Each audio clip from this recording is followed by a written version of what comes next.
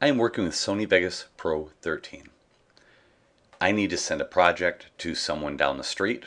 Doesn't matter if they're out of the country. But I need to be able to package it up so they can edit it.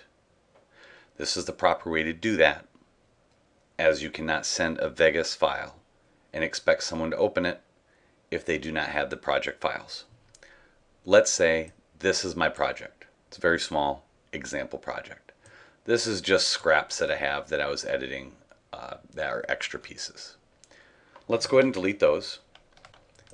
Now we just have the project left. If I click at the top, it should just highlight the project only because there's nothing else in the timeline. Let's go up to project media. This is all the pieces that were in your timeline to begin with. Click on the lightning button. It now just erased everything else that was over here and just left what you absolutely need for the project. As a side note, it will not copy applications that the other party does not have. So if you're using a plugin like NewBlue and the other party does not have NewBlue, it will not be able to be opened on their side because they don't have that application. Go up to File, Save As. I'm going to go into my documents and I have a project folder here I created. There's nothing in this folder at the time. I'm just going to name this test. And I would click save, except for that will do nothing but create a Vegas file. So copy media with project, click on that, save it. Copy source media would copy the entire video clip of each video clip. So if this is a two minute video clip, it'll copy the whole thing.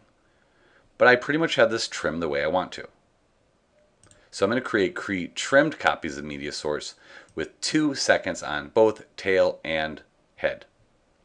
Okay it's telling me that the timeline, some of the project media was not uh, trimmed because it will preserve the quality. Fine. Okay. X out of this. If I go back into my documents, back into that project, I now have, I now have only the stuff that I need to open up that project. So if I click on my test, I now have the project exactly as I had saved it. X out of that. I need to send this now. So I'm going to right click, go down to send to, compressed zip top folder. It's now making a zip top folder.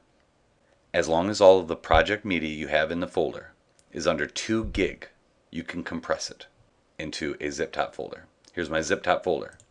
I can now send that to anyone I want on Google Documents.